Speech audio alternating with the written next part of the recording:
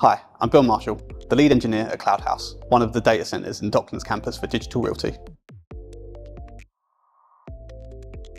This cooling innovation provides our customers with a solution that is 20 times more energy efficient than traditional cooling systems, enabling them to significantly reduce the carbon footprint of their data centres. To benefit our customers elsewhere, we've rolled out some of our approaches from the Docklands site more widely.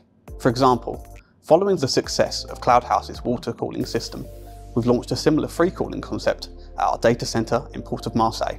Every year, this is helping save up to 18,400 megawatt hours, whilst mitigating the emissions of 795 tonnes of CO2, the equivalent of 5,560 trees planted each year.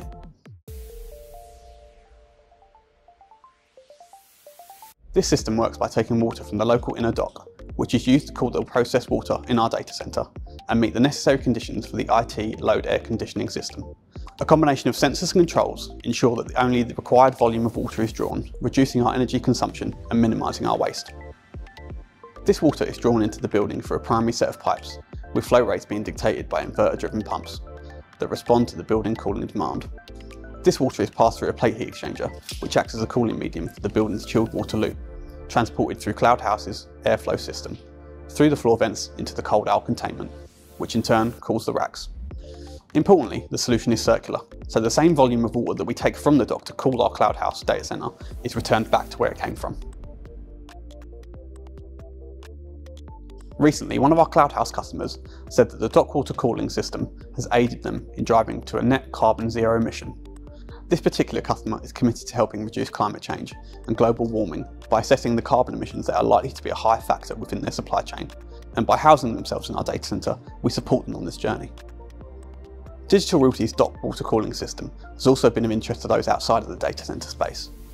In February 2022, Lord Callanan, a Parliamentary Undersecretary for State for the Department of Business, Energy and Industrial Strategy, visited CloudHouse after he had heard of our sustainability credentials and wanted to gather a better understanding of the environmental impacts this system mitigates.